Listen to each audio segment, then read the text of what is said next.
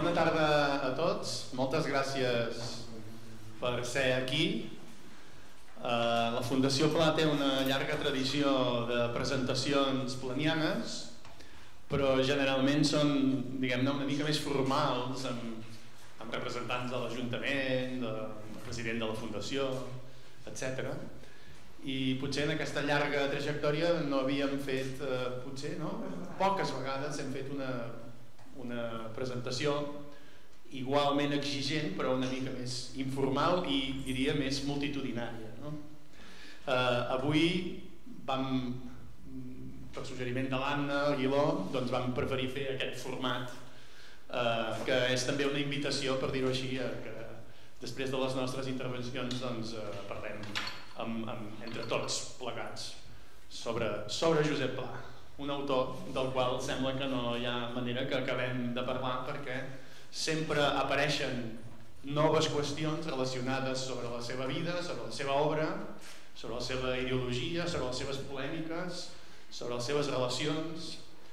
I potser la novetat també és que mm, es van incorporant noves veus, noves veus crítiques des de la filologia, des de la història, des de la literatura comparada, des de la sociologia, des de la política. És a dir, que és un autor que realment és un clàssic en el sentit que el clàssic és aquell autor que no deixa d'interrogar el present. I per tant avui jo estic molt content de tenir aquesta taula de gent jove, eh, de diferents edats. Alguns ja tenen alguna, una, una, una bibliografia per dir-ho així, és a dir, ja han publicat molts llibres i molts articles sobre Pla, altres comencen ara, alguns ho fan des d'una perspectiva, altres des d'una altra, i per tant la prova que un autor és viu és que té lectors i que, i que admet moltes lectures. I, i Pla és, en aquest sentit, un dels eh, clàssics catalans eh, més susceptible de ser llegit i rellegit. I això bé, demostra que és el nostre contemporani també. Ara recordàvem alguna vegada amb en Francesc Montero que ara fa 100 anys, el 1920, que Pla va començar a publicar en els diaris de Barcelona i va començar a ser corresponsal a l'estranger, va començar a viatjar a París, a Madrid, a, a Roma, a Berlín, a Moscou i sembla estrany, però 100 anys després continuem parlant i continuem, continua suscitant eh, polèmiques o simplement es continua suscitant noves lectures. Per tant, jo estic molt content i gràcies als col·laboradors d'aquesta revista, d'aquest número d'aquest dossier especial sobre Josep Pla de la revista Quimera.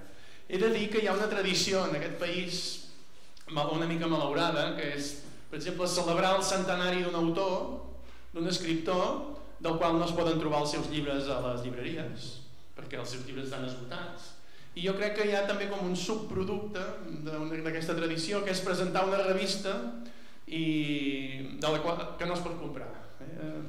ens hauria agradat avui eh, portar moltes revistes per, per regalar-vos-les i per, per poder-la difondre però malauradament el director no ha pogut venir i el coordinador del número monogràfic tampoc no ha pogut venir i per tant ens hem quedat sense les revistes i només tenim aquestes que hem portat nostre, nosaltres aquesta és la revista Quimera, que és una revista de literatura que, es, que es publica des de fa molts anys a Barcelona, eh, en castellà, amb, amb molta audiència sobretot en les biblioteques i en els clubs de lectura, i el mes de gener està dedicat a aquest dossier monogràfic coordinat per Andreu Navarra. I de tots els eh, col·laboradors, avui en tenim cinc, i cinc incloc a mi mateix, doncs sis. Jo el que faré és eh, donar-vos primer la paraula, que ens expliquin una mica quin és el seu article, quina és la seva aportació, i després farem una ronda de reflexions també sobre la vigència de Josep Pla, també en les noves generacions que el, que el, continuen, que el continuen llegint. Els presentaré primer eh, Jesús Rebelles, eh, que és un català traspassat a Mallorca, eh, que va fer, es va doctorar amb una tesi, amb una tesi doctoral sobre la relació de Pla amb Portugal, els viatges a Portugal, les relacions amb els escriptors portuguesos, amb, amb la política portuguesa, i que ha publicat ja un bon nombre també de treballs i d'articles. I jo recordo doncs, l'any passat o ja fa dos anys eh, no recordo, el pròleg a la reedició del cabotatge mediterrani el professor Antoni Martí Monterde que és un valencià traspassat a Catalunya i fem països catalans eh, professor de literatura comparada i una veritable autoritat eh, en, la, en la lectura i interpretació de textos literaris. I jo voldria destacar que fa dos anys va guanyar el Premi d'Assaig Joan Fuster amb un llibre sobre eh, titulat Les ciutats de lluny de Josep Pla que és un llibre sobre la, eh, sobre París, Madrid i Nova York dic bé, eh? vistos per Josep Pla és un llibre interessantíssim on es diuen moltes coses noves sobre els llibres de viatge de Josep Pla la professora Blanca Ripoll és una menorquina que viu a Catalunya aquí hi ha una mica de tot eh? Eh, professora també de, de literatura espanyola en el, a la Universitat de Barcelona, autor d'una tesi doctoral molt important i molt interessant sobre la revista Destino, la gran revista dirigida per Josep Vergés i on Pla va ser un dels principals col·laboradors. El Benjamí és en David Portillo, que és eh, estudiant de la Universitat de Girona, graduat en aquests moments estàs fent un màster, oi, de secundària, per l'ensenyament de secundària, ja els, ja els acabat o no? Sí? Molt bé. I que eh, té el propòsit de continuar estudiant eh, acadèmicament l'obra de Josep Pla. I el professor eh, Francesc Montero de la Universitat de Girona, que es va, va fer una tesi sobre Manuel Brunet, un periodista de la revista Destino molt amic de Josep Pla i amb el qual va tenir mm, moltes vicissituds i paral·lelismes de la seva vida i de la seva obra i que a més a més de molts altres articles va publicar fa ja 3 o 4 anys un recull de textos inèdits de Josep Pla que es van titular Fer-se totes les il·lusions possibles. És a dir que tenim aquí una mica el millor de, dels estudis planians eh, dels últims anys. Jo dono primer la paraula d'en Jesús i fem una mica l'ordre dels articles de la revista i així, ja que no tenim més revistes, com a mínim sabeu de què van cadascuna de les aportacions. Bé, bona tarda a tots. Gràcies, Xavier. Gràcies a la gent de la Fundació, Anna i, i totes, que sempre és, sempre és un plaer eh, ser aquí. Mm, un, una vegada expliquen que amb l'Ei Bonet una presentació va llegir tot el llibre, no? Eh, podríem llegir la revista, eh, els articles per mi ha estat un plaer, sempre. I fa més de 20 anys que vaig topar amb en Xavier aquí, a l'entrada, i vaig dir, vull fer una tesi sobre Josep Pla i tal. I sempre ha estat un, ha estat un gaudi, és un plaer, perquè el viatge mai no s'acaba, no? sempre trobem coses i això parla molt bé de Pla i de l'obra planiana, no? al final un es defensa per la seva feina i, i, i Pla aguanta, eh, no sé, vol desaforçar, ha cedit a menys, no sé, hi ha, hi ha autors que vulguis, no sé, per diferents motius, no? Jo crec que l'obra és reixida i vaig tenir la sort de, de, d'escriure el pròleg del cabotatge sí. i redescobrir textos, dic malament redescobrir, descobrir textos que jo eh, a la meva tesi no, no, no m'havia fixat tant. Jo m'havia centrat més en els anys 20 i els anys 70 per temes lusitans i portuguesos i els 50 quedava una mica més enfosquits i tenia molt respecte a aquest, a aquest període sobretot per, per la correspondència amb Pedro Crec que és un llibre ex extraordinari no? i semblava que ja estava no? fet i, i és, és excepcional. Quan en Xavier va proposar eh, fer una revisió o escriure algun article sobre, sobre el pla, jo encara tenia eh, el regust del, del pròleg i vaig aprendre, preparant el pròleg, eh, vaig generar una hipòtesi i era, la paraula era tensió, no? és a dir, veure que Pla sempre està tensionat i resol tensions entre el que la seva generació o coetanis li exigeixen o li demanen i com se, i com se n'acaben sortint i jo crec que se n'en surt segurament se n'en surt eh, fugint de la novel·la i com a, com a estàndard o com a, for, com a format no? el Coses Vistes del 25 a la postguerra també l'altre Coses Vistes, diguem-ho així i el, i el quadre gris no? quan ha de triar no tria la novel·la com a format eh, on canonitzar-se i i clar, per mi era molt important explicar això i tampoc s'havia explicat. De fet, eh, aquesta revista Quimera per mi, per mi és, és molt important perquè quan jo estudiava teoria de la literatura a l'autònoma eh, tenien diferents litúrgies. No? Una era llegir Bolaño compulsivament, tothom llegia Bolaño. Eh, L'altra era discutir si era millor Borges o Cortázar, no? jo anava amb Borges. I l'altra era llegir Quimera. No la podíem comprar sempre i la, la miràvem, no la robàvem encara, però la miràvem a, a les biblioteques de la Diputació. I estàvem tots expectant que sortís el, el, el número de Quimera perquè també alguns professors ens feien molta il·lusió. David Roas, Fernando Valls, escrivien a, a Quimera llavors al final, al cap de molts anys escriure un article sobre el pla Quimera doncs jo estic eh, molt feliç eh? a part, no és, és, és cert. No sé, jo crec que Pla eh, resol aquests, eh, aquestes contradiccions i, i, i fuig de la novel·la jo el, ho he titulat sobre les forces motrices perquè sempre he vist a Pla en sortint-se'n de trampes que li posa la seva generació. No? Una novel·la, una generació sense novel·la, doncs no sé si Pla sense generació, però ell pot fer moltes coses malgrat tot el que li demanen, no? I jo, jo crec que se n'en surt sempre. Aquest era una mica el fil conductor d'aquest pla eh, des dels 50 fins potser fins als, fins als 70, passant per eh, algunes pressions polítiques eh, d'apropiació de l'obra planiana, o, o d'altres tipus. I aquesta ha estat una mica la meva, la meva intenció, que al final ha funcionat com a pòrtic, però era una mica una revisió arrel de la feina del cabotatge, no? a partir d'aquestes de, de, textualitat, no sé, jo crec que, per exemple, una cosa que explica el Blanca de la sonrisa espanyola també és, és línia, no? el primer article, una altra vegada, no? és un inici fantàstic, no? És a dir, Pla, sorprenentment, és, una, és un escriptor molt bo i que ven molt, i que troba això que, que deia Pila sobre el sonet, no? Qui va trobar el sonet? No? Aquest hem de conèixer. Doncs Pla troba un format nou, un gènere nou, una veu distinta. No? Barthes també diu, no? Un autor d'una veu. I jo fa 10 anys que sóc associat a la Universitat de les Illes Balears i vaig manllevar una pràctica que faig cada curs d'en Pere Ballar. En Pere Ballar era un fantàstic professor de retòrica l'Autònoma i el primer dia, a Humanitats, a Retòrica, eh, agafava aquests anuncis classificats a darrere dels diaris, a vegades eròtics, a vegades no, i els, mm, ens presentava en vers o al contrari, i ens demostrava com el format importa, no? Llavors veiem que no sempre encertàvem quin era el poema i quin no. Uh, tots els anys faig una pràctica. Trio 10-12 fragments molt breus, 5 línies, 4 línies, 8 línies de diferents autors. Uh, però no dic de quin autor és. Uh, I sempre dic, d'aquí hi ha textos que són ficcionals i textos que no són ficcionals. No? Eh, cada any els, els alumnes trien diferents textos diferents, però sempre, durant els darrers 12 anys, n'hi han triat dos, que són Proust i són Pla.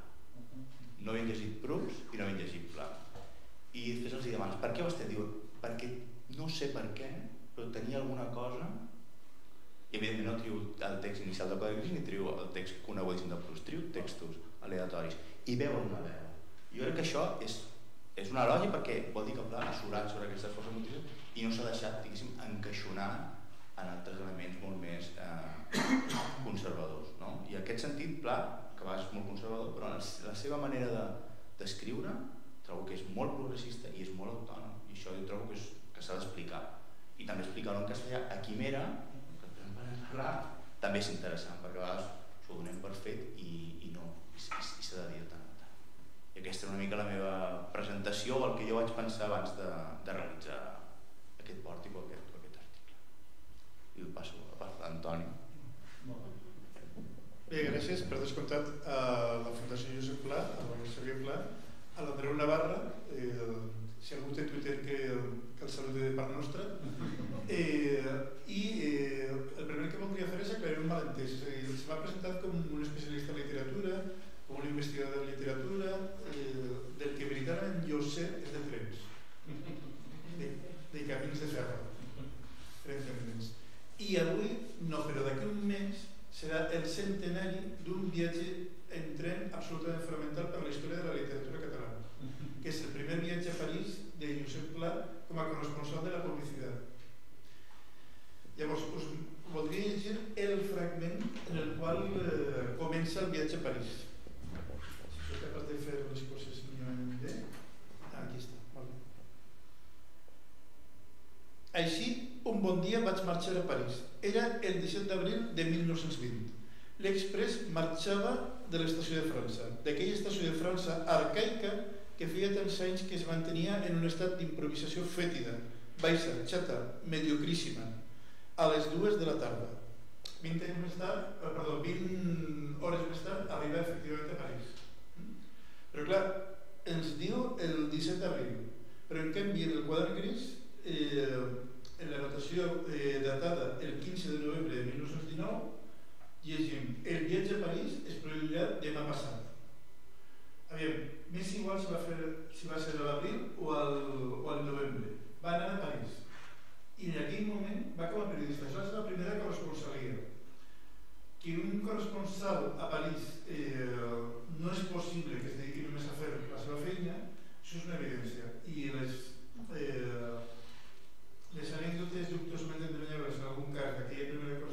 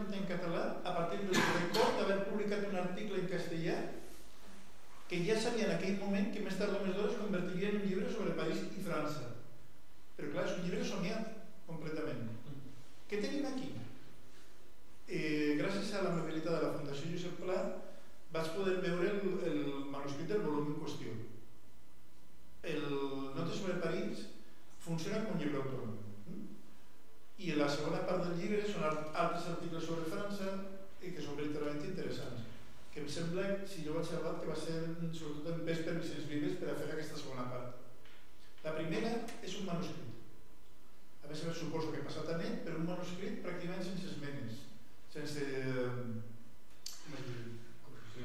sense correccions. O sigui, no hi ha més que un, un parell de moments de dubte que tatxa i, i torna, torna a agafar el fil. Però no hi ha, a diferència de la segona part del volum, no hi ha eh, cap article retallat i enganxat. En la segona part del volum sí que es dona això. Suposo, molt millor que jo, que en molts casos de l'obra completa això és la pràctica habitual en part. Allà no, allà era una mena de, de, de memòria d'haver escrit unes coses que les torna a escriure. Però no les torna a escriure per repetir-les, sinó que les escriu a partir del, de la memòria del fet d'haver escrit i, de, i del fet d'haver viatjat a París. Per això el viatge a París és un text eh, veritablement de ficció, al meu entendre. Les úniques referències veritablement contrastables són la ruta, perquè aleshores el tren anava per Toulouse i no per Lyon i a més a més les coses que va explicant en el viatge, en el viatge a París eh, començant per la part de la frontera l'arribada a, a la Gare d'Orsay on estava esperant el Quim Borralleres Quim Borralleres amb un tapi volant li dona una lliçó de cosmopolitisme absolutament increïble i després quan pugen a el Sapam a un cotxe per anar a Montmartre la ruta travessant eh, el Sena, travessant el Louvre, travessant, travessant tot l'avinguda de l'Òpera. És narració absolutament impressionant. Jo crec que es troba entre les millors pàgines de Josep Pla. I crec que no exagero. En tot cas, eh, per què vaig triar eh, parlar del viatge a París en aquest número de primera? Perquè em vaig sentir absolutament fascinat per un títol que s'autoatorga eh, Josep Pla precisament en, el, en aquelles notes sobre París, en el primer, en el, en el primer capítol, és a dir, el que narra el viatge. Es defineix com un viatger de ferrocarril gairebé perfecte. Clar, a partir d'aquí jo només podia sentir-me absolutament enamorat d'aquest concepte. Dir, jo no arribo a la perfecció de Pla, ho intento, i tinc alguns bons mestres, com per exemple el mateix eh, Josep Pla, per intentar-ho. Ara bé, per què vaig triar això? Doncs hi ha una anècdota al darrere eh, que intentaré resumir de la manera més breu possible que té a veure amb la Fundació Josep Pla. Fa uns anys vam organitzar un doble col·loqui Barcelona-París sobre les relacions intel·lectuals i literàries. La primera seu va ser a Barcelona, al MUBA, a la plaça Rei. Això va passar molt bé. I la segona part, com que era un, un simposi doble en col·laboració amb la, amb la Universitat Paris, s'havia de fer a París i un dia, eh, com que evidentment som de lletres i per tant pobres, no tenim pressupost per a, per a fer totes les coses que s'havien de fer per a organitzar un, un simposi des de Barcelona a París, gràcies a la col·laboració de Christophe Char, eh, no tenim prou diners. I eh, d'acord amb l'Institut de Cultura de Barcelona vam, vam tenir una reunió amb la representació de l'empresa Elipsos, que ara ja no existeix, eren els antics trens que anaven de Barcelona a París, a Ginebra i a Milà. Aquesta empresa ara es diu Renfe Sansef en cooperació i vam tenir una reunió a veure si aconseguíem un, una sponsorització, un recolzament, qualsevol cosa. Llavors, en aquella reunió hi havia una taula immensa i d'una banda seien els ferroviaris i de l'altra banda els, diguem-ne, els, de, els de les lletres. Llavors comencem la reunió presentant-nos, jo vinc en representació de la Universitat de Barcelona, eh, Esteve Caramés eh, venia de, de representació de l'ICU, hi havia més gent del, del Museu d'Història, gent diversa, de, sobretot del, de la candidatura eh, de, de Barcelona com a ciutat creativa UNESCO de la literatura. I de l'altra banda hi havia els ferroviaris. I de sobte el, el cap dels ferroviaris, en la negociació, perquè estàvem fent una negociació per, una, per fer possible un viatge, eh, comença a parlar de Emilia Pado Bazán, de Miguel de Unamuno, de Pío Baroja, i, i clar, me n'adono que els seus companys ferroviaris se l'estan mirant com dient què li passa a Juan Carlos? Llavors, toca el, el torn de parlar als, eh, als de lletres, diguem i jo que capto evidentment l'essència de la situació començo a parlar del pantògraf, de la catenària que faríem sense la catenària en aquest país del balast, que és ja un terme pràcticament tècnic i fins i tot el coeficient de Los Angeles. És una cosa absolutament estrambòtica que no, no penso explicar. Llavors, els de cultura, els de lletres, es van mirar, em van mirar com dient què li passa al Toni? Normalment ja feia coses rares, però aquella era molt més rara. Aleshores, ens van mirar el Juan Carlos Ponce i jo, és un, és un tòpic de la, eh, de la, de la novel·la medieval, és a dir, els seus ulls es van creuar. I aleshores ens van mirar amb complicitat i dient, bueno, qui ho explica primer? I va començar ell. Jo vaig fer la tesi doctoral sobre el ferrocarril i literatura dirigida per el doctor Adolfo Sotelo Vázquez. Clar, en aquell moment jo em vaig sentir obligat a confessar que jo volia ser maquinista de tren i encara no descarto la possibilitat d'esdevenir algun dia. Aleshores ens vam aixecar de la taula, ens van fer una abraçada, eh, bàsicament ens van preguntar on havies estat fins ara, ets l'home de la meva vida, coses així. I la reunió evidentment va acabar molt bé. No van tenir diners, però ens van posar un vagó primera en un TGV Euroduplex per a totes les conferències que venien de Barcelona. En dues condicions, que quedés alguna cosa material i que es fes alguna activitat en el tren. La part material, sense la col·laboració, evidentment, de la Fundació Josep Pla, no s'hauria pogut portar a fer, perquè era preparar un quadernet que al final el disseny era bastant horrible, però no sé si error, perquè el, el, el van editar els mateixos que editen els horaris de tren. Per tant, no tenen experiència amb llibres. Amb llibres. I aquell quadernet contenia el manuscrit eh, reproduït del viatge a París, la transcripció del text tal com va aparèixer l'obra completa, la traducció al, al castellà feta per part meva i la traducció al francès. Tot és un quadernet que es va repartir a la gent que anaven en aquell vagó. L'altra condició és que es fes alguna cosa en el vagó, en el viatge. I jo, que sóc un irresponsable, vaig dir que faria una conferència en el tren. Amb la qual cosa, clar, m'estava fent interessant, perquè era com si faré l'esforç de... No, no, jo estava encantat. Ja, aleshores, en el trajecte entre Perpinyà i Balans, jo vaig estar parlant una horeta sobre la història cultural de la línia ferroviària Barcelona-París. I evidentment la meitat de la conferència, com és lògic i natural i comprensible, era parlar sobre Josep Pla i sobre aquest viatge a París. I això és el que si fa no fa explico en l'article. Moltes gràcies.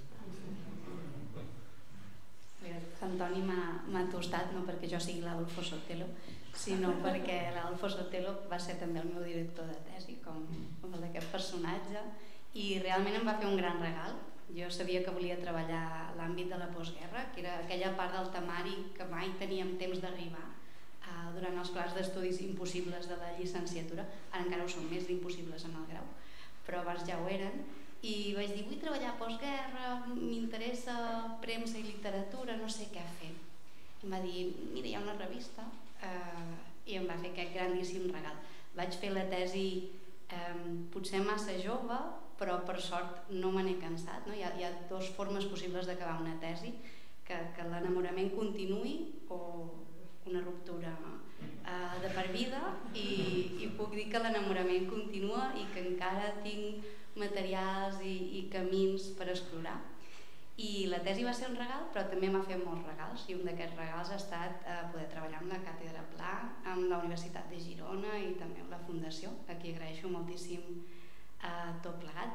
Una mica l'article no podia ser un resum de la presència de Pla Destino, que és una presència multifacètica, heterogènia, tant en gèneres com en, en temes, eh, ni tampoc podia ser un seguiment molt detallat de la relació entre ell i, i Agustí o entre ell i Vergés, que també són relacions complexes, llarguíssimes, no? amb, amb molts moments, molts alts i baixos, llavors faig una presentació una mica ràpida.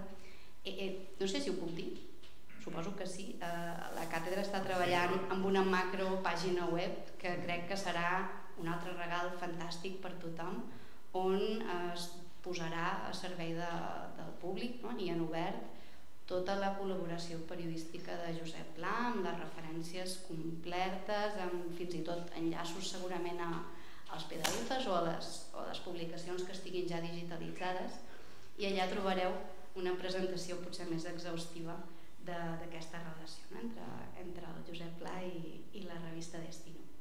I també volia aprofitar l'oportunitat que ens donava l'Andreu amb aquesta revista um, per parlar d'un altre, per mi, superregal, com veieu estem tots una mica malalts de pla, uh, que va ser que em van oferir la possibilitat d'estudiar una llibreta, no? va ser una, una troballa fantàstica on semblava que hi havia tota la col·laboració de Josep Pla Destino, tant la signada, amb nom i cognoms, com la no. I, i això vaig dedicar una bona part de, de l'any passat i en aquest article hi trobareu algunes cosetes, no? de, de les moltes. Uh, efectivament, l'omnipresència de Pla Destino que s'insinuava la correspondència, que segurament tots coneixeu amb, amb Vergés, que és el volum 45 de l'obra completa, queda completament corroborada amb totes les editorials que amb pseudònims, amb inicials irreconeixibles en aquell moment eh, la llibreta ha, ha demostrat. No? Editorials molt interessants, sobretot en el context de la Segona Guerra Mundial i en aquest impàs en què Destino deixa de ser germanòfila. No? Deixa, els elements germanòfils deixen de tenir poder i els elements aliadòfils passen a guanyar d'alguna forma amb moltíssima informació curiosa o més pintoresca, molt crítica, que apareixen a, articles sobre els horts, sobre els pescadors, sobre els ramaders, i on, on clar, aprofita aquest anonimat per filtrar moltíssima crítica, no sé si dir el règim o, o sistema, no? del règim a, a últim, als últims 5 anys, dels anys 40, que van ser anys molt difícils de passar a tot el territori i després ja hi ha l'altra troballa que no he tingut temps d'abordar no? que són tot el tema de, de l'autopromoció literària que, que Pla desenvolupa i que espero poder tenir temps d'estudiar de, i de, de compartir i oferir amb tots vosaltres. I sense més, passo la paraula al company.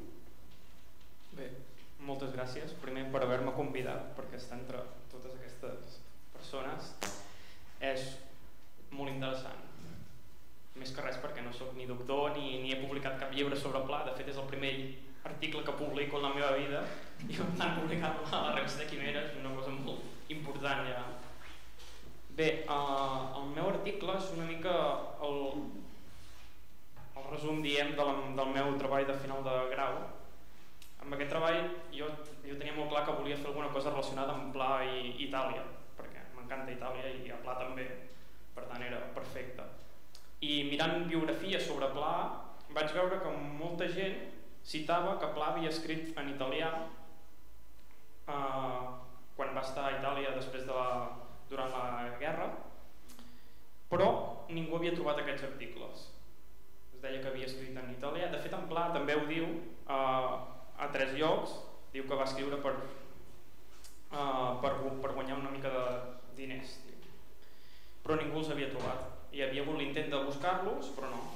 Fins que vaig trobar un llibre que es diu Espies de Franco que és d'en Josep Guixà que miraculosament va trobar aquests articles. I de fet et, et cita les cinc dates amb els cinc supòsits d'articles que, que, vas, que va escriure. Llavors el meu TFG era una feina molt senzilla que era com no plasmava aquests articles en el llibre a demanar-los i comentar-los. i fins aquí ja tenia el treball fet però la cosa es va complicar força més quan vam demanar aquests articles que en Josep Guixà diu que estaven signats per J. Pla i els articles no estaven signats cap ni un, ni un. aquí la cosa es va començar a complicar força i per tant només ens va quedar l'opció d'anar a Roma perquè és l'únic lloc juntament amb Rijeka ja que això és un període de temps que Pla va estar a la ciutat de Fiume, que ara pertany a Croàcia, però abans era, era Itàlia, i aquest diari no està ni digitalitzat ni res, i només es troba o a la Biblioteca Nacional de Roma o a la Biblioteca de la Universitat de Rijeka. Per tant, ja per idioma vam escollir Roma, que era més, era més proper. I, de fet, això sí que és destacable, que Josep Guixà diu que diu que en Pla va escriure a la Vedeta d'Itàlia. Que això és sorprenent ja que és cert que va escriure aquí. De fet aquí segurament hi va haver una, una recerca ja que era l'únic diari que, que existia a l'any 38 a la ciutat de, de Fiume. I un cop a Roma vam demanar els articles i vam estar buscant eh, dos dies intensos amb en Xavier de recerca. Vam trobar els articles que en Josep Guixà deia i òbviament no hi havia signatura ni res. I per tant li vam dir ostres, com pot ser que no, hi ha, que no hi hagi signatura ni res? I ens va enviar doncs això, dos articles amb signatura. J. Pla. Signatura una mica estranya. I però clar, vam comparar-ho amb l'original i no hi havia cap signatura. Per tant després ja ampliant una mica la fotografia que ens van, que ens va enviar en Josep Quixàs, veia com una línia així, una mica de, de Photoshop potser, i la tipografia tampoc, tampoc enganxava gaire, o sigui, era tot molt estrany, molt, molt, molt estrany. I un cop vam ser a Roma allà mirant els articles, amb els que ens havia dit en Josep Quixà, òbviament no hi havia signat signatura, i de cop, entre un dia, o sigui, Josep Quixà diu que hi ha, per exemple, un article el dia 16 i el dia 18, no? justament el dia 17 hi havia un article signat per Josep Beblà. Clar, és estrany que tu hagis anat a fer aquesta investigació i no hagis trobat això justament quan citis un article d'un dia abans i d'un dia després. És molt estrany. I, i bàsicament l'article que vaig escriure parla de la troballa aquesta que es pot considerar el primer article en italià de Josep Pla.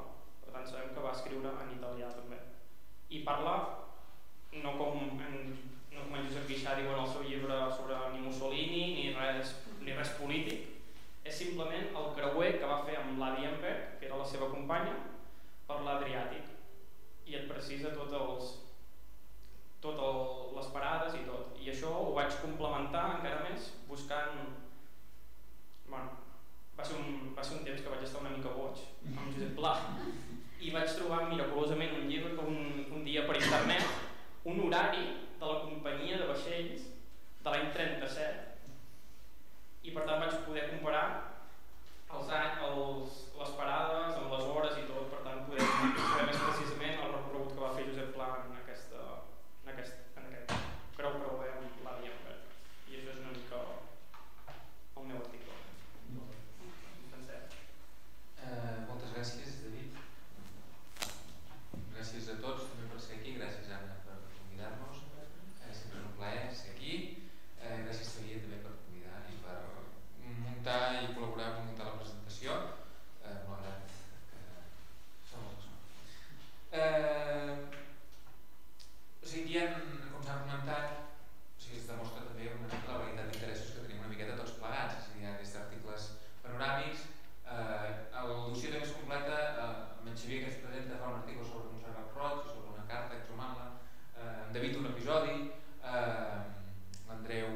la sorogenidor. Jo em vaig centrar també en un episodi. Així com, com l'Antoni fa la vida de viatger,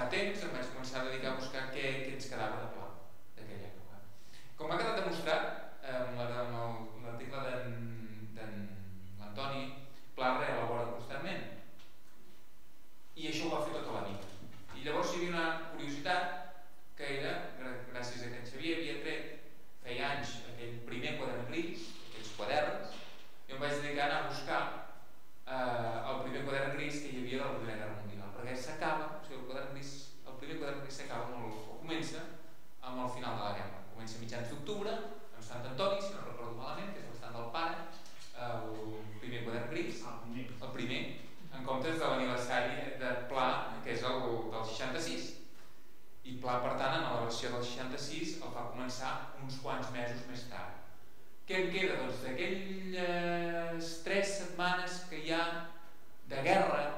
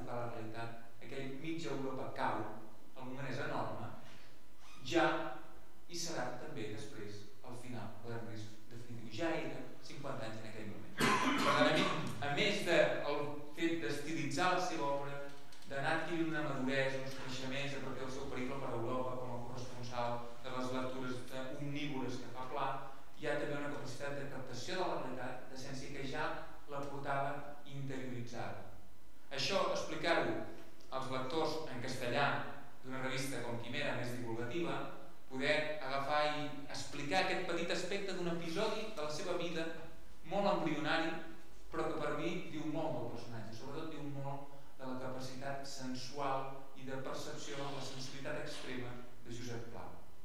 Llavors, només quedava fer un últim, mm, una última exploració. Quin impacte va tenir la Primera Guerra Mundial en l'obra de Pla? Perquè, en realitat, Pla comença el quadern gris per l'epidèmia de la grip. El 1914 hi havia hagut una altra epidèmia, que era de tifus, que fa que Pla també torni a Palafrugell, i que ja expliqui una carta inèdita, eh, bé, ja èdita, perdó, eh, una carta al, a un exmestre que la guerra l'està fastiguejant tant que fins et té ganes de, de marxar de Calella perquè la gent està enfadada eh, per culpa de la guerra.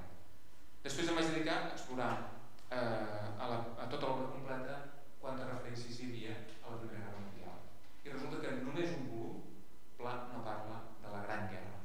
Això demostra que en aquells anys de formació un conflicte que assola Europa i del qual Pla en veurà les conseqüències, els efectes en la seva etapa com a corresponsal li marca clarament la seva percepció. I això fa que anys més tard digui que aquells anys en els quals va viure la disbauxa a Barcelona, el munt de diner, l'espionatge i el contraespionatge, on fins i tot va gaudir d'alguns banquets en motiu d'algunes victòries, després, reflexionant-hi, s'adona que aquells anys, quan tenia només 20, el seu ús de raó era molt precari i fluix. Va ser anys després que va pensar amb tot el rigor possible i des d'aquell moment va ser sempre pacifista i antidolorista. Pla es converteix en un antidolorista. Gràcies. Potser jo, potser jo pensava, eh, abans de fer una mica de ronda i també de convidar-vos a participar, us puc llegir la carta inèdita fins ara de Josep Pla a Montserrat Roig, que vaig trobar a, al fons Montserrat Roig de l'Arxiu Nacional de Catalunya a Sant Cugat. És una carta del 20 de febrer de 1972. És un moment bastant particular perquè... No se sent? Està obert. Està obert.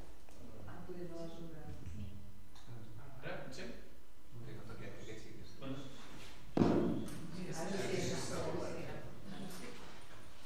És un moment una mica particular, el 1972, p- perquè Pla viu en una paradoxa. D'una banda, eh, està publicant l'obra completa de Destino, els volums vermells, a un ritme de 3-4 volums cada any. Eh, això l'està consagrant com el gran escriptor de la literatura catalana de la segona meitat del segle XX, però alhora, mm, per diverses causes, està envellint, està envellint potser malament, eh, se sent atacat, se sent, se sent ferit, està potser doncs, eh, vivint amb una certa agró les polèmiques polítiques dels sectors més d'esquerres, més progressistes, més catalanistes, que l'estan acusant d'haver col·laborat amb el franquisme, d'haver escrit en castellà, d'haver de ser un, conservador, un reaccionari, per tant és un, és un moment de pla mm, en què està, penso que està especialment sensible.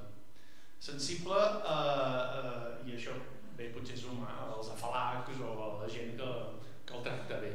Mm? I, I és en aquest moment en què Josep Vergés eh, li proposa a la Montserrat Roig que en aquells moments eh, està vivint un moment de gran plenitud, acaba de guanyar un premi literari amb el seu primer llibre, molta, molta roba i poc sabó i tan neta, tan neta com la voldrien, eh, està triomfant, perquè és la paraula, amb una sèrie d'entrevistes eh, tant a Serrador com a la revista Destino, i bé, en tot cas, Vergés té la idea que, que la Montserrat Roig entrevisti eh, a Pla, eh, que incorpori Pla a la, a la, a la nòmina d'entrevistats i sembla deduir-se que en un primer moment Pla s'hauria fet el desmenjat, cosa que és una estratègia bastant planiana, eh, però finalment eh, es troben. I eh, això s'acabarà publicant a Destino, és una entrevista molt famosa estat publicada, que es va publicar en castellà però que després la va publicar, la va traduir també al català, en el volum Retrats Paral·lels, i, i és, és, una, és una entrevista fantàstica perquè, perquè perquè més enllà dels prejudicis que poguessin tenir l'un de l'altre, de seguida connecten i hi ha dos escriptors, i hi ha dos, dues maneres d'entendre la vida i la literatura que, que, que sintonitzen. I després de l'entrevista, però abans que es publiqui, és a dir, l'entremig, ja, ja s'ha fet l'entrevista aquí a, a Palafrugell i després a Palamós, a casa d'en Vergés, eh, però encara no ha sortit publicada, cosa que em fa pensar que en Pla potser estava una mica negritós o estava pensant i li envia aquesta carta eh, perquè la, la Roig li ha enviat també un retall d'un article perquè hi ha una polèmica eh, una de les tantes polèmiques que hi va haver als anys 70 eh, sobre si eh, Pla havia de guanyar el Premi de les lletres catalanes o no, o sobre si Pla podia ser un gran escriptor però una mala persona o aquelles polèmiques que es van, es van eternitzar. Diu així, Mas Pla, 20 de febrer de 1972, Montserrat Roig, Barcelona. Molt apreciada Montserrat. Vaig rebre la carta amb el retall del seu article del Teleexpress. Està molt bé, però és, com tota la crítica d'avui, una mica superficial, etc. Li agraeixo moltíssim. La conversació que tinguérem al domicili de Vergés a Palamós consistia en una sèrie de llocs comuns sense importància Ara veurem, quan surti el seu paper, quina utilització n'ha fet. De tota manera, no sap quan li estimo la seva paciència davant de la inanitat del meu pobre i interminable monòleg. Soc un gran admirador de vostè, del seu llibre. Sembla un fenomen típic de la seva timidesa que en un moment determinat es despenjà amb, un, amb una nerviosa explosió d'anticonvencionalisme i de cinisme. És un gran sistema per escriure. M'agradaria molt parlar amb vostè del seu llibre sarcàstic i desaforat. És un mètode no gaire corrent en aquest país, mètode que jo admiro. Vostè té una gran capacitat d'expressió i moltes coses al cap. En aquest país això no és pas gaire corrent. S'hauria de remoure una mica aquesta literatura en vista a l'època d'avui. Podria fer un gran bé. Si jo fos jove, la vindria a veure a Barcelona si vostè tingués un medi de locomoció, qualsevol hauria de venir vostè. Els joves no solen tenir temes. M'agradaria explicar-li una novel·la que tinc al cap des de fa molts anys i que mai escriuré. L'hauria potser d'escriure vostè. I si sortís tindria el premi, sempre és clar que li agradés fer-la. Tot això és entre vostè i jo, naturalment. Hem de salvar aquesta literatura, no ho creu? Passi-ho bé. Afectíssim, Josep Pla.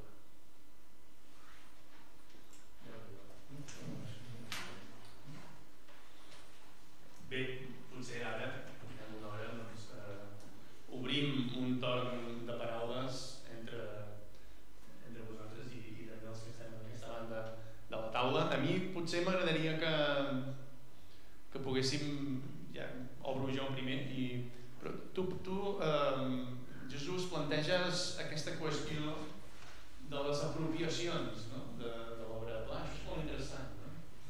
És a dir, hi ha autors no fan ni fred ni calor, dir que, que són allà i, i la gent els llegeix o no.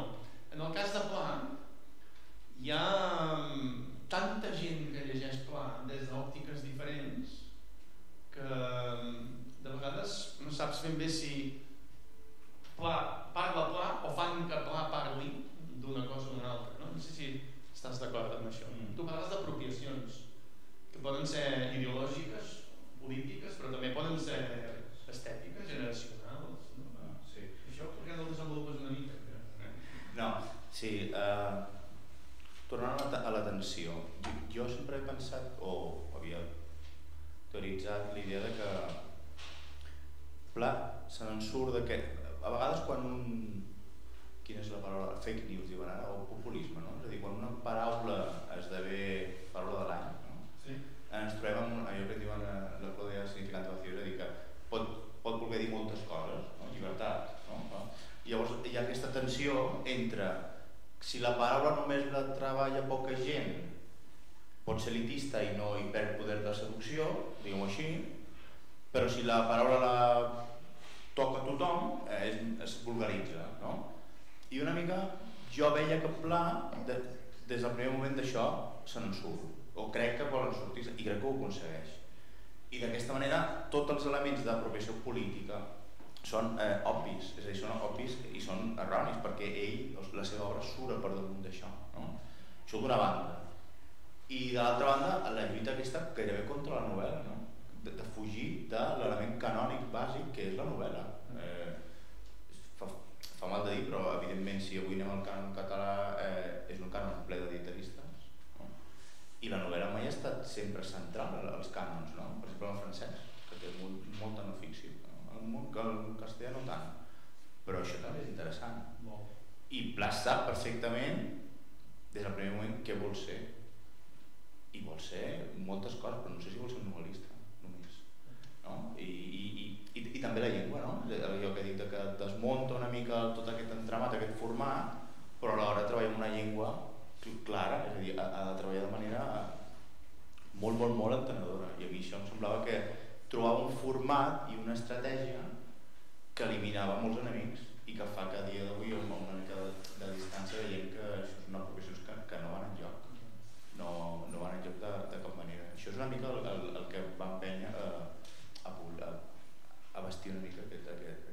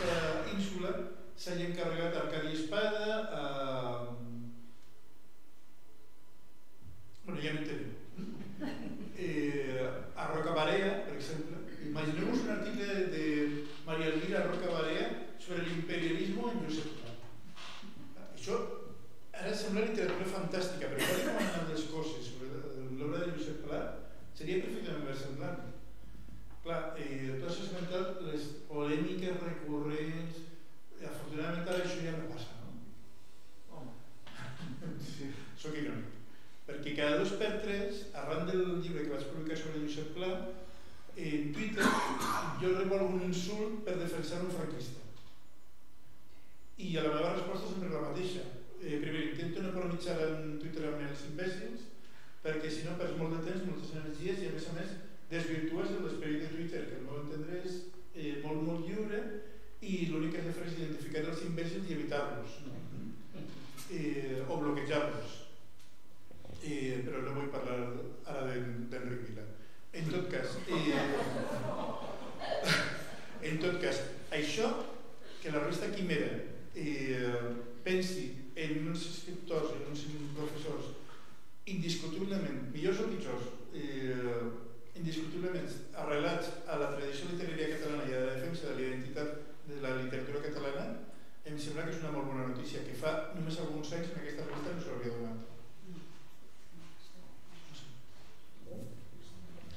Continua havent encara no? algunes, quan han sortit alguns llibres darrerament que, que demostraven el compromís de Pla amb la cultura, llavors a l'altra banda de l'Ebre hi havia silenci, no? això ho havíem comentat algunes vegades quan apareixen traduccions al castellà. Quan Pla es troben, es recuperen manifestacions de Pla fins llavors privades perquè no podia ser d'una altra manera. Aquesta mostra el compromís incorruptible de Pla amb la cultura del país. Allà eh, queden ostres, és un pla que no ens interessa eh, la gràcia és poder continuar parlant de Pla i fins i tot amb, amb aspectes que no són tampoc polítics vull dir, ens, ens preocupem, ens agrada l'obra de Pla per llegir-la per llegir-la, reivindicar-la i a mi encara em continua fascinant com, com David, endavant, perquè jo també sóc jove i n'hi ha, més grans i, i, i podem seguir buscant i trobant materials per poder continuar estudiant a pla sense ficar-nos aquests fangars que alguns volen posar a pla constantment. Aquest per mi és el gran mèrit de pla, que com dius tu Jesús, eh, pla se n'ha escapat de, tot, de tots aquests, aquests saraus amb una proposta molt intel·ligent però molt clara a favor d'una cultura i d'una literatura que al capdavall l'obra queda això ho havíem dit algunes vegades quan vas mirar les llistes dels més venuts darrerament Rodoreda, Pla, autors que porten 30 anys que ja, que ja estan morts i continuen amb una vigència completament plena per l'obra literària no per la polèmica de la seva figura de la seva vida. Dos figu dues figures tan diferents i que mm, van tenir tan poca relació però que en canvi el públic continua aplaudint i continuen plenament vigents. Això és el gran mèrit també que també s'ha d'explicar d'aquesta manera en una revista que arriba a, un gran públic interessat en els temes i per tant que no és el mass media o que segurament no faran twitters no faran tuits d'aquest estil bueno, de fet jo les polèmiques aquestes de Twitter recurrents al final jo he optat per, per respondre sempre de la mateixa manera sempre eh, responc eh, amb una foto de l'obra completa de Pla perquè jo crec que no cal afegir res més. Sí, davant de qualsevol insult, qualsevol eh, tonteria, qualsevol estupidesa, eh, qualsevol lectura tergiversadora, l'obra de pla. Sí. Qui estigui en condicions de posar milers i milers de pàgines eh, com aquestes damunt de la taula, com deia Calcarós, que faci una passa endavant i call. és això. No, no necessitem res més. És a dir, eh, un dia me recordo en classe eh, que jo acabava de fer un, un elogi de l'obra memorialística de Josep Pla i, i algú des, del, des dels estudiants eh, que jo crec que intentava fer-se una mica l'espavilat deia, bueno, però no tot serà tan bo i jo li vaig dir, clar que no, evidentment estem parlant de com a mínim 40.000 pàgines imaginem-nos per un moment li vaig respondre imaginem-nos per un moment que només només eh, la quarta part siguin bones. Mm? En tindrien ja 10.000 com a mínim. I que només la quarta part d'aquesta quarta part siguin extraordinàriament bones. Encara en tindríem milers de pàgines. Qui estigui en condicions de posar milers de pàgines de qualitat de pàgina, dos milers de pàgines, tres milers de pàgines, a l'altura d'aquestes millors pàgines de Josep Plat, què parla? Però mentrestant tenim a Josep Pla 46 volums eh, i a més a més una cosa absolutament increïble que que gràcies precisament a aquesta iniciativa eh, a través de la pàgina web, el tenim també la possibilitat de, de llegir-lo tal com va aparèixer a la premsa. Que és un, és un goig. És a dir, tu agafes el, els articles de la publicitat i te n'adones que, que ostres, en aquelles primeres pàgines a la premsa tu anaves al quiosc al matí amb alegria. Perquè trobaves un article en la primera plana un article de Josep Pla un de Prudència Bertrana les anotacions d'un filòleg que es deia Pompeu Fabra. Aviam, Carles Soldevila Gaciel, primeres pàgines eh? no vull no, no vull esmentar el que m'he trobat avui al, al quiosc, però en tot cas, i per acabar d'adobar, és cert, no, tinc, no vam tenir una gran novel·la en aquella època, però el que tenien era una gran narració, i aquesta narració s'ha de trobar als, a les hemeroteques. Ja sé que fa molta mandra, com deia Josep Pla, anar a buscar tot això allà, però ara ho tenim més fàcil que mai, sisplau. I jo, per exemple, sóc un viciós de la impressora. O sigui, jo, quan entro a les pàgines de Destino, eh, m'ho baixo un PDF i després vaig a que m'ho imprimeixin a la facultat perquè tenen una impressora de, que pot imprimir en A3 i clar, tu agafes un pla de destí no? i dius no pot ser és impressionant però és que passa el mateix amb la publicitat passa el mateix amb la veu de Catalunya Aviam, tenim un luxe a les hemeroteques que és eh, perfectament homologable el millor cicle novel·lístic de la literatura europea. L'únic que hem de fer és subratllar-lo i editar-lo. Amb això ja tindríem prou. Evidentment, convidem si algú vol aprofitar per opinar. M'has anat un dubte, però dius que és un viatge perfecte, què vols dir? Bueno, és algú... Gairebé perfecte. Gairebé perfecte. Gairebé perfecte. Un viatge de ferrocarril gairebé perfecte. Perquè és el que s'ha d'interpretar perfectament una finestra de tren. És a dir, el que fa Josep Pla en el viatge cap a París és mirar per la finestra. I a partir d'aquí captar a, a través del paisatge, és una cosa molt, molt curiosa, perquè diu, un cop passem de tal, de tal eh, altura de la, de la línia de tren, comença l'ànima francesa. És aquesta manera d'hermenèutica ferroviària que mirant a la finestra està llegint un llibre que és a través del paisatge la, la noció d'esperit francès. Ja sabeu que la paraula esperit en francès és molt, molt complexa, és pràcticament intraducible com geist en alemany.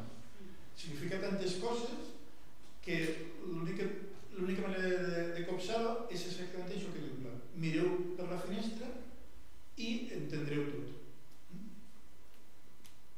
No sé si a vosaltres us passa. Hi ha una altra cosa, hi ha una altra manera de, de defensar la, la, la lectura de l'obra de Pla, perquè evidentment és molt difícil tenir l'obra completa a casa. Sobretot si, si volem tenir eh, els llibres originals dels anys 20 i 30, la primera obra completa de, de Selecta i també la de Destino. Aviam, ja som de llibres, per tant, Fidemes comença el dia 5 i no podem comprar tot. Però hi ha les biblioteques. Jo eh, crec que, per exemple, les hores que, que passa Josep a la biblioteca de la Universitat de Barcelona passant fred, les hauria de llegir tots els, tots els estudiants de la, de la facultat. Jo els hi faig així. Eh? Als estudiants de la facultat els, els poso algunes pàgines de Josep Pla eh, sobre fred que tenia a la, a la biblioteca de la universitat i els de l'Ateneu els, els fan llegir eh, les pàgines sobre el, com de patètics són els, els que van el diumenge a la tarda a la biblioteca de l'Ateneu a llegir, la, a llegir. Clar, són dues definicions d'animal de, de biblioteca, que al cap i la fi és un animal eh, dels més interessants de, de la fauna lletrada, eh, que precisament Pla els invoca, els convoca. Llavors, anem a les biblioteques en massa a a agafar els llibres de Josep Pla. Que no descansin les bibliotecàries de portar-nos els llibres. Fem, fem que totes siguin una mica com una excepció del pròleg del, del llibre sobre Jan Fuster què explico com va trobar el primer llibre que vaig tenir de Josep Pla. Fem que les bibliotecàries gaudeixin agafant els llibres, sentint el seu pes al, al Montecarles, pujant-lo a la superfície. I a partir d'aquí ja, ja en farem coses.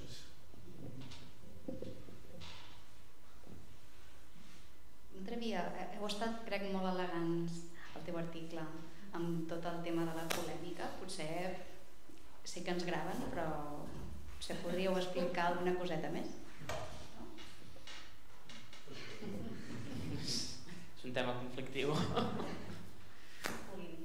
Bé, que es pugui dir... No, no, no, És...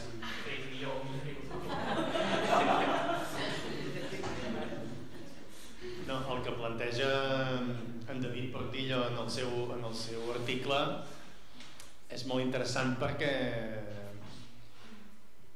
bé, perquè ara, ara jo no sóc gens elitista i gens defensor de l'acadèmia perquè no em considero que formi, jo no considero que formi part de l'acadèmia no? però en canvi sí que defenso la honestedat intel·lectual i, i, i, un, i un ben fer no? és a dir, les coses en història, en, en, en filologia, es fan d'una manera determinada. I, I per tant cal, anar, cal citar les fonts, per exemple, cal, cal anar a comprovar les dades, no? cal corroborar-ho, si cal. I, I el que tinc molt clar és que hi ha coses que no es fan. I una cosa que no es fa és manipular les dades. I, i això sí que jo, jo no ho havia vist mai. És a dir, hi ha uns articles manipulats. Primer, hi ha uns articles manipulats, és a dir, algú va posar una signatura de Josep Pla a uns textos que no eren de Josep Pla. Jo això considero que és molt greu.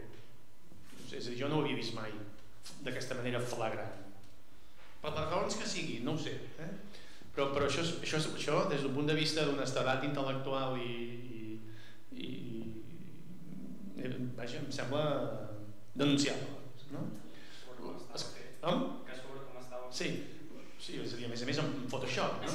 És a dir, eren, eren un, és, una, és, una, és un diari italià eh, d'un territori que ara és Croàcia, eh, és un diari de tendència feixista, cert, de l'any 38, on cada dia hi ha unes informacions sobre la Guerra Civil Espanyola que majoritàriament són notes d'agències internacionals, és a dir, eh, se'ns informa des de Salamanca que se'ns informa des de Burgos que se'ns informa des de Barcelona que l'aviació italiana ha, etc. Se'ns informa des de València que l'exèrcit republicà s'està eh, retirant. És a dir, és, eh, és un tipus d'informació factual sobre l'abans de la Guerra Civil. Aquí algú va col·locar-hi una, una signatura falsa de Josep Pla. Això és molt greu. I això és una manipulació i per tant és, és, és fer trampes. Segon, que això doncs, amb en David és que ens, ens indignaven quan ho veiem, no? eh, segon hi ha la interpretació que es fa d'aquests textos falsament signats. És a dir, es diu que Pla estava a un pam de Mussolini. Per tant, aquí hi ha una mala fe, també manifesta. És a dir, associar el nom de Pla a Mussolini, això eh, és claríssim. L'article que va trobar en David, signat Giuseppe Pla, per cert, això té una certa gràcia, eh, perquè jo no ho havia vist mai, però és la primera vegada, no? Eh, és, un, és, un, és un article, un, només en vam trobar un, que també ens estranya, perquè Pla parla d'uns quants articles, però no ho hem acabat, encara tens feina. Vull dir, eh? Sí, però vaja, no, no, no té res a veure amb aquest, però és un article que és Pla i la seva companya agafen un creuer que en David ja ho ha dit que van embogir, van follir amb els horaris i amb els, amb els models dels creuers. Sí, sí, sí.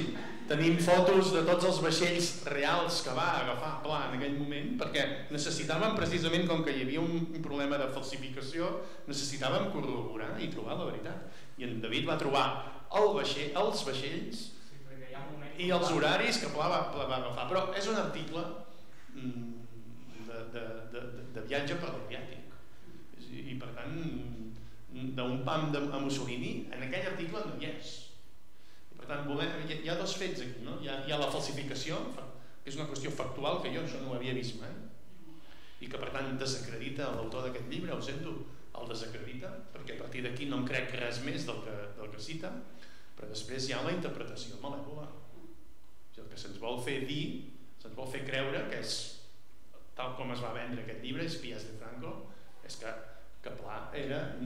Pseudohistòria. Eh? Pseudohistòria. Pseudohistòria, però de l'altra banda, esclar. És a dir, se'ns vol fer creure que Pla, si ho era, ho era, però se'ns ha de demostrar i, i ja està, i, i tots ho acceptarem, però... però... Clar, però és que és realment molt greu perquè al final